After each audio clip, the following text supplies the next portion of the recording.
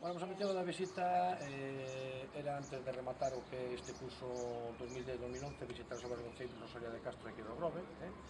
Eh, tal como había indicado da propia Secretaría Xeral, visitar tamén o alcalde, o novo alcalde de Grove, e, por suposto, pois a directora que tamén reiterativamente eh, pois habíamos falado da posibilidad de visitar cando se remataran as obras de ver como habían quedado esta primeira fase tal como se habían comprometido o secretario xeral ca AMPA eh, nas súas peticións e reivindicacións eh, que creo que xustas e lexítimas e polo tanto eh, hoxe pois, é unha satisfacción para todos ver que se fixeron unhas reformas como acabamos de comprobar tanto no que é os aseos como no que é a parte de instalación eléctrica como que é o tema da caldeira de calefacción que era moi importante e como comentaba algún anai pois a sorpresa que levaron os rapaces no seu momento cando chegaron por primeira vez aos cuartos de baño e viron remodelados para min, como xefe territorial, é unha satisfacción, non? Eh, vir a visitar estas obras, mm, ver que, eh, que pese ás circunstancias económicas nas que nos movemos, pois desde a Consellería estamos optimizando recursos todo o máximo que poidamos e priorizando sobre o necesario. Eh, hai a veces peticións que son entendibles, eu tamén as comparto, pero que, que nas, nas circunstancias nas que nos movemos e sobre todo, pois, eh, bueno, eh, os programas RAN e outros moitos eh, que se viron mermados económicamente, eh, pois temos que priorizar sobre o que, o que máis necesario e neste caso pois, eu creo que os aseos, o que é a calidad de calefacción, o que é a luminaria nunha primeira fase eh, que supuxo un investimento próximo a 130.000 euros eh, pois que, que creo que cumple o objetivo fundamental. E vai haber unha segunda fase? Sí, efectivamente é unha segunda fase que tocará para o próximo gran e que estábamos comentando na Canai, que é a propia directora, Casnais,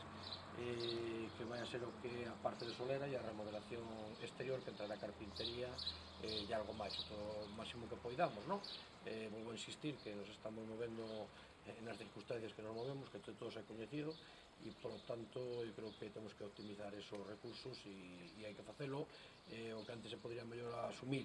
nunha sola vez, nunha sola fase, hai que facer un cronograma e ese cronograma leva a facer a cruzalo en dous ou tres anos,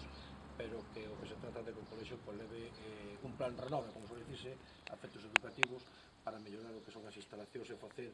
eh, dos centros educativos uns centros do século XXI e, e tendo en conta esta consideración, pois pues, creo que é importante tamén a petición que me fan do propio centro e o propio alcalde e que pide, se nos impliquemos no tema do proxecto Avalar para o Ceiro Solia de Castro eh, do Globo e así o facer. Tamén vos ides trasladar agora ao colexo con Meniño eh, unha polémica en torno á, á petición da xornada única para o curso que ven. Hai alguna posibilidad de que se lle conceda a estas alturas? Ou... Eh, vamos, a, vamos a analizar ahora con eles ali, non? Eu creo que eso tamén teño que decirlo claramente que é unha sensibilidade eh, por parte dos pais, non? De solicitar unha xornada única e por a nosa parte tamén de chegar unha, a un entendemento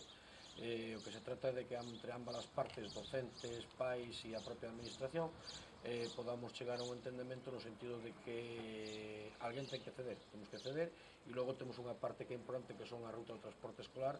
eh, que, en fin, veñen un pouco condicionando esta a situación, no? e os horarios. E eu creo que nos temos que sentar, analizar, as, analizar todo o que, ou non solamente todas as variables, cando se pon unha xornada única, e eu espero que cheguemos a un entendemento. Van a estar comigo